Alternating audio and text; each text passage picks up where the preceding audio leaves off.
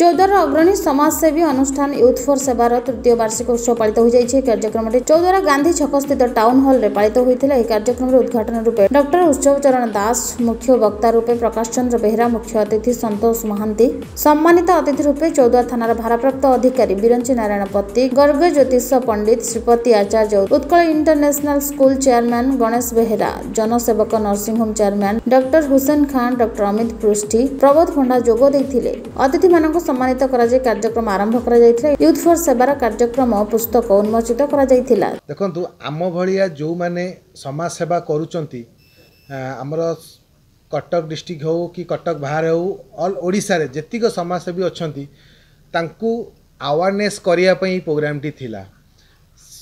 ମାନେ ଅଲ୍ ଓଡ଼ିଶାରୁ ସମସ୍ତ ଗ୍ରୁପ୍ କୋଡ଼ିଏରୁ ପଇଁତିରିଶ ଗ୍ରୁପ୍ ଡକା ହେଇଥିଲା।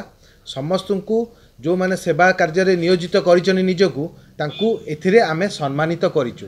ତା ସହିତ ଆମ ଲୋକାଲରେ ଯେଉଁମାନେ ରହୁଛନ୍ତି ସମାଜ ସେବା କରୁଛନ୍ତି ତାଙ୍କୁ ବି ମଧ୍ୟ ଏଥିରେ ତାଙ୍କୁ ସମ୍ମାନିତ କରାଯାଇଥିଲା।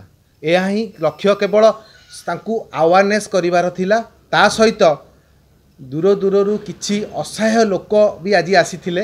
ତାଙ୍କୁ ଫେଲିସିଏଟ୍ ବି କରିଥିଲୁ ମାନେ ଯେଉଁମାନେ କହନ୍ତି ସେ ସବୁଠୁ ଏଇଟା ବଡ଼ ଭୁଲ।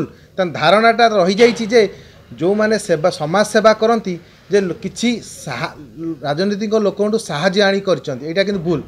ଗୋଟେ ଗୋଟେ ଟଙ୍କା ଯଦି ଜଣ ତମ ଜଣ- ଜଣଙ୍କ ପାଖରେ ଅଛି ଯଦି ସେବା କରିବାର ଲକ୍ଷ୍ୟ ଅଛି ସେଇ ସେବା ମାନେ ମୁଁ ଯଦି କିଛି ଲୋକଙ୍କ ପାଇଁ ସେବା କରିପାରି ମୋର କିଛି ଏ, ଟଙ୍କାକୁ ନେଇକି ସେ ଲୋକମାନେ ଭାବିବେ ଯେ ଇଏ କିଛି ରାଜନୈତିକ ପଇସା ଆଣିକି ସେବା କରୁଛି। ଏହା ହିଁ ଭୁଲ। ତାକୁ ବି ଆମେ ପ୍ରମାଣିତ କରି ବି ଦେଇଛୁ। चौदह शिवव्रत दास रिपोर्ट कामयाब टीवी।